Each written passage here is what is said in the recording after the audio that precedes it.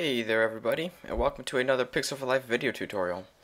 In the last video, we started to do the HTML for this template right here, and we ended with this. I know it's beautiful. Try to control yourself.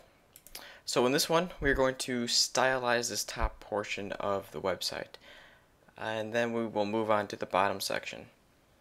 So this is our code that we left off with. One thing that we forgot is to give this a banner wrapper. So in here, I'm going to just do div the ID of banner wrapper. And what this is going to do is center all of the content within this banner. I know I spoke about it, but I don't think I did it for some reason. So we're just going to add it now real quick. So we're just banner wrapper.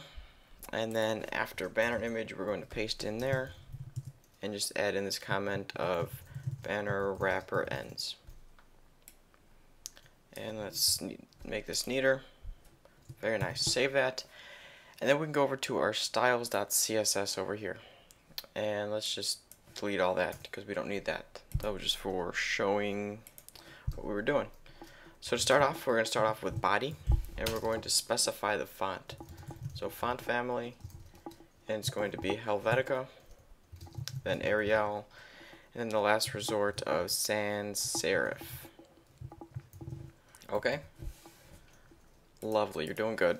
Alright, so in this next part we're going to do the nav uh, the navigation bar. So let's do a little comment of navigation bar. And then nav ends. Perfect. Okay, so in this we're going to start off with the navigation background. So we're going to want to do navigation BG. And then we're going to give it a border of um, let's see border top. It's going to be one pixel solid and it's going to be this dark blue I think this is. So it's 6.9 or 6B9 5B E E okay? And then we're going to give it a border bottom.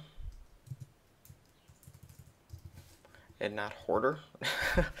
Thanks for pointing that out for me border bottom is going to be one pixel solid and then it's going to be this I think it's a lighter blue if I remember correctly.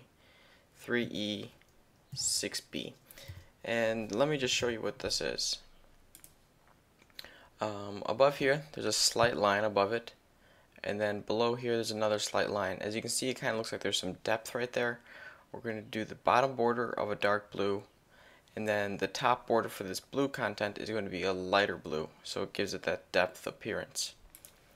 So inside of that we're going to give it a uh, width of 100% so then it scales with the width of the browser. And then we're going to give it a background color of just a solid blue 18599A okay? And then we're going to do overflow hidden.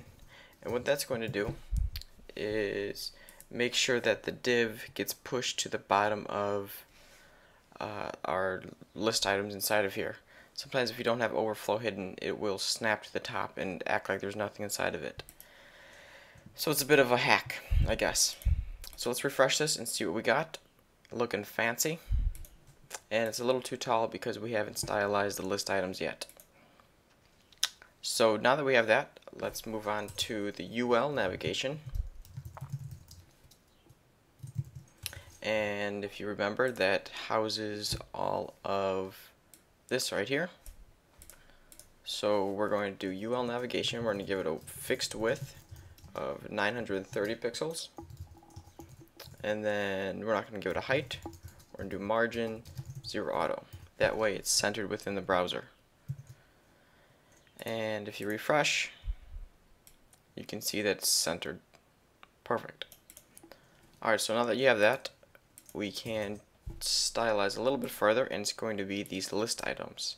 So we're going to do UL navigation LI. And here we're going to give it a height of 50 pixels. We're going to tell it to float left. Uh, we're going to give it a line height equal to our normal height. and what that's going to do is or here let's not let's not put this yet I'll show you. So if we refresh this we can see this text is slapping the top of the browser. And with this line height that equals our li height it should fix it and make it perfectly centered. That one will cost you a dollar alright so now we're going to give it a margin right of 25 pixels and that should just space out these li items just like that.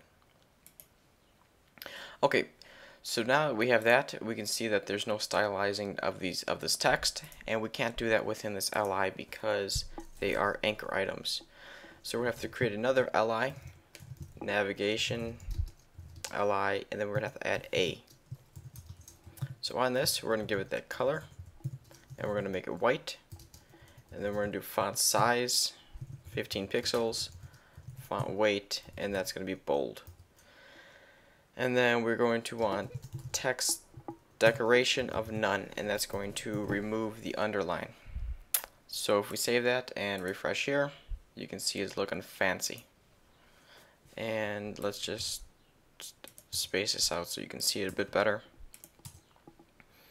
alright so now we want to have a hover item because right now if you hover over it you can't you can't tell so what we're gonna do is do ul navigation LIA hover. Simple as that. And then for that we're going to do color and the color is going to be a light blue. So it is um, AAEAFF. And then we're going to make sure there's no underline when you hover over it. So again, text decoration, or actually we want to underline, sorry. So we're going to add an underline when you hover over it. So over here, we took off the text decoration, and we're going to add it when you hover over. So let's save that, refresh, and perfect. Very nice. So let's add, the, let's do the logo. As you can see, there's a little logo right here.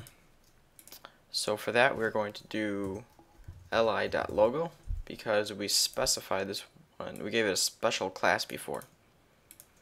So let's do li logo and then for that we're going to do width 290 pixels height 35 pixels and then display it block let's just make sure that uh, that's correct let's find where our logo is top logo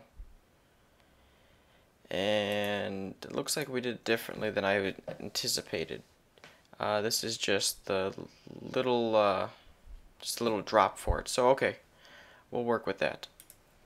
So let's go back to our index.html and inside of this A, here we're going to do sample logo title or sample logo. And let's refresh and see what that looks like. Alright. So, um, Let's go back to our styles. And then in here, we're to do background URL, images, or actually we need dot dot slash because our CSS is in a separate folder. So if we were to put just images, it would be looking for images within the CSS folder. So to make sure it doesn't do that, we do dot dot slash, we're do images, and it's top underscore logo dot png and we want to make sure it does not repeat. So let's uh, see what we just did there. As you can see, we have the logo. So what we want to do is, uh, let's see what the dimensions for this is. The width is 25 pixels, so let's give it a margin right of 25 pixels. Refresh. And that didn't work, and I'm running out of time. So in the next section we will finish up this navigation bar and then work on the blue content bar, this right here. And then we'll work on the HTML to finish this off. So thanks for watching and once again be sure to check out the next part. See you later.